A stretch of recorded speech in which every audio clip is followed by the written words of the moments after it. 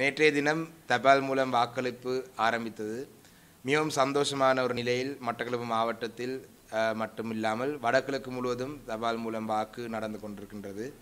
தமிழ் தேசிய கூட்டமைப்புக்கு ஆதரவாக அரசு அதிகாரிகள் அரசு கடமை கடமையில் இருக்கும் அனைவரும் வாக்களை கிட்டத்தட்ட தொண்ணூத்தஞ்சு விதமான ஆக்கள் தொண்ணூற்றி ஆறு விதமானவர்கள் இன்று நேற்றைய தினமும் இன்றைய தினமும் தமிழ் தேசிய கூட்டமைப்புக்கு அமோகமான வரவேற்புடன் வாக்களித்தது நாங்கள் அவதானிக்க முடிந்தது. உண்மையிலே சந்தோஷமான ஒரு விடயம். கடந்த காலத்தில் தமிழ் தேசிய கூட்டமைப்பு ஒன்றுமே செய்யல் என்று சொன்னால் உண்மையிலே சில விஷயங்கள் நாங்கள் செய்திருக்க வேண்டிய இதுகள் இருக்குதான். அதாவது சில அரசு அதிகாரிகள் சில அரசாங்கத்தை சேர்ந்தவர்கள் இன்று அவங்களுடைய அரசியல் உரிமையை இழந்து இன்று இருக்கிறதை நாங்கள் காண முடியும். ஆளுங்கட்சிகளை சேர்ந்த ஒரு சில அரசு உத்தியோகஸ்தர்கள் தங்களுடைய அரசியல் பணிகள் மிகவும் ஆர்வமாக மிகவும் உற்சாகமாக செய்து கொண்டிருக்கிறது நாங்கள் காண முடியும். உதாரணத்துக்கு சில பிரதேசங்களில் இருக்கும் சமுர்தி அதிகாரிகள் கூட அந்த ஐயாயிரம் ரூபாய் கொடுப்பனவை கொடுத்த சமுர்த்தி அதிகாரிகள் கூட இன்று இன்று அரசாங்கத்துக்கு அரசு கட்சிகளுக்கு ஆதரவாக வாக்களிக்குமாறு சொல்கிறத நாங்கள் காண முடியும். ஆனால் தமிழ் தேசிய கூட்டமைப்பையும் ஆதரிக்கும் அரசியல்வாதிகளுக்கு மிக பாரிய அச்சுறுத்தல்கள் சில அரசு அதிகாரிகள் அதாவது அந்த அரசியல் அரசு அதிகாரியின் முகாமயம் செய்யும் அந்த அதிகாரிகள் உயர்தர அதிகாரிகள் அச்சுறுத்தல் செய்வதை நாங்கள் பார்க்க முடியும். அவங்களுடைய ப பதவிகளை பாதுகாக்கிறதுக்கும் அவங்களுடைய பதவி உயர் பதவிகளுக்காகவும் இன்று அரச சில சில அரசு ஊழியர்களை அச்சுறுத்துறதை நாங்கள் பார்க்க முடியும். மிகவும் வேதனையாக இருக்குது இதை பார்க்கும் பொழுது. சில அரசியல் தமிழ் தேசிய கூட்டமைப்பை ஆதரிக்கும் சில அரசியல் அரசு ஊழியர்களுக்கு இன்று எந்தவித அரசு அரசியல் உரிமையும் இல்லாத நாங்கள் பார்க்க முடியும். சில இடங்களில் அவங்கள் அரசியல் ரீதியாக தங்களுடைய வாக்கை பயன்படுத்தும் பொழுதும் கூட இன்று அந்த பேலட் பேப்பரை எடுத்து பார்த்த சில சம்பவங்களும் பதிவு செய்யப்பட்டிருக்கு. தமிழ் தேசிய கூட்டமைப்பு சில சவர்கள் விட்டுருக்குன்னு நான் என்ன சொன்னேன் நான் சொன்னால் இந்த சில அரசியல் உயர் பதவியில் இருக்கும் சில அரசியல் தலைவர்களை அந்த நேரத்தில் வந்து அவங்களுக்குரிய அந்த சில நடவடிக்கைகள் தமிழ் தேசிய கூட்டமைப்பு எடுத்திருந்தால் இன்று இவங்கள் இவ்வாறாக நடுநிலையாக செயல்படாமல் ஆளுங்கட்சிகளுக்கு சார்பாக செயல்பட்டிருக்க மாட்டார்கள். நாங்கள் கடந்த நல்லாட்சி அரசாங்கத்தின் பொழுது நாங்கள் எந்த பழிவாங்குகிற அரசியலும் செய்யாமல் விட்டுத்தான் தவறுன்னு நான் நினைக்கின்றேன். என்றால் இன்று அந்த ஒரு தமிழ் தேசிய கூட்டமைப்பை ஆதரிக்கும் இந்த அரசாங்கத்தில் சில அதிகாரிகளுக்கு மிக மோசமான வகையில் முகநூலூடாக எல்லாம் நாங்கள் தாக்கல் நடக்கிறது நாங்கள் பார்க்க முடியும். ஆனால் இப்படி இருந்தும் அரசு அதிகாரிகள் மிக உற்சாகமாக எந்தவித பயமும் இல்லாமல் தமிழ் தேசிய கூட்டமைப்புக்கு அமோகமான அளவு வாக்களித்திருக்கிறது பார்க்க மிகவும் சந்தோஷமாக இருக்குது இனி இந்த வாக்கின் இந்த வாக்கு இந்த அளித்த வாக்களின் பிரதிபலன் இந்த எதிர்வரும் எட்டாம் மாதம் அஞ்சாம் தேதி நாங்கள் காண முடியும். அரசு அதிகாரிகளின் தொண்ணூறு விதமானவர்கள் தமிழ் தேசிய கூட்டமைப்பு வாக்களித்தால் நிச்சயமாக அவர்களுடைய ஆர்வம் இந்த ஏனையவர்களையும் வாக்களிக்கிறதுக்காக நாங்கள் காண முடியும். ஐந்தாம் தேதி பாராளுமன்ற தேர்தலிலும் ஒன்பது தொண்ணூத்தஞ்சு விதமான ஆக்கள் வாக்காளர்கள் தமிழ் தேசிய கூட்டமைப்பு வாக்களிக்கிறதுக்கான ஏற்பாடுகள் இந்த அரசு அதிகாரிகளே தங்களுடைய உறவினர்கள் குடும்பத்தினர் போட்டாலே உண்மையிலே தொண்ணூத்தஞ்சு விதமான வாக்குகள் தமிழ் தேசிய கூட்டமைப்பு வரும். அந்த வகையில் இந்த முறை தமிழ் தேசிய கூட்டமைப்புக்கு மட்டக்களப்பு மாவட்டத்தில் நாலு பாராளுமன்ற உறுப்பினர் கிடைக்குமா என்ற இந்த ஒரு சந்தேகம் இன்று அந்த சந்தேகம் நீக்கப்பட்டிருக்கு. நிச்சயமாக இந்த அரசு அதிகாரிகளின் வாக்களிப்பை பார்த்தால் நிச்சயமாக நாலு ஆசனங்கள் தமிழ் தேசிய குடு கூட்டமைப்பு கிடைக்கும் என்றது உறுதி செய்யப்பட்டிருக்கு.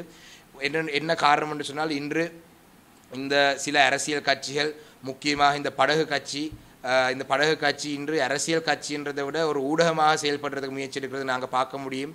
இந்த படகு கட்சி என்றது படகு கட்சி என்றதை விட படகு தொலைக்காட்சி என்றது தான் இன்று அஹ், மட்டக்களப்பு மாவட்டத்தில் பிரபலியமாக இருக்குது அவங்கள ஒரு அரசியல் கட்சி என்றதை விட ஒரு தொலைக்காட்சி அதாவது ஒரு சமூக வலைத்தளம் ஊடாக பயன்படுத்தும் ஒரு தொலைக்காட்சியாக தான் இருக்குது இந்த படகு தொலைக்காட்சி என்று சொல்லி ஒரு நூறு பேருக்கு பூச்சாண்டி காட்டுற இந்த முகநூல் பதி முகநூலிலே பூச்சாண்டி காட்டுற இந்த படகு தொலைக்காட்சி மிகவும் பொய்யான விஷயங்களே. எல்லாம் சமூகத்துக்கு பொய்யான விஷயங்களை எடுத்து காட்டுறது தான் அவங்களுடைய வேலை திட்டங்களாக இருக்குது அண்மையில் கூட நெனசலை நெனசல என்று சொல்லி பிள்ளைகளுடைய படிப்பு கல்வி மேம்படுத்துறதுக்காக கணனிகள் வழங்கின ஒரு கட்டடத்தை எடுத்து ஒரு விகாரை அமைத்ததாக பொய்யான தகவல்களை அந்த படகு தொலைக்காட்சின்னு சொல்லி அந்த போலியான ஒரு ஒரு சில்லறத்தனமான அந்த முகநூல் பதி ஒரு ஒரு முகநூல் பேஜூடாக அவங்க போட்டிருந்தவர்கள் உண்மையிலே நெனசலே போல இந்த கல்வி திட்டங்களை பற்றி இந்த படகு கட்சியை சேர்ந்தவர்களுக்கோ இந்த படகு தொலைக்காட்சியை நடத்துகிறவர்களுக்கோ தெரிகிறதுக்கு வாய்ப்பில்லை.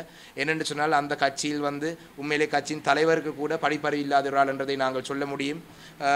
கூடிய கூடிய கல்விமான்களை கொலை செய்த குற்றச்சாட்டில் உள்ள ஒரு கட்சி தம்பையாவை போல ரவீந்திரநாத்தை போல நல்ல கல்விமான்களை கொலை செய்ததாக குற்றச்சாட்டு உள்ள கட்சி தான் அந்த படகு கட்சி. அப்போ அந்த வகையில் இந்த படகு தொலைக்காட்சி நடத்துகிறவர்களுக்கு எந்த வகையிலையும் வந்து நெனசலையை போல ஒரு கல்வி திட்டம் தொடர்பாக தெரிகிறதுக்கு வாய்ப்பில்லை.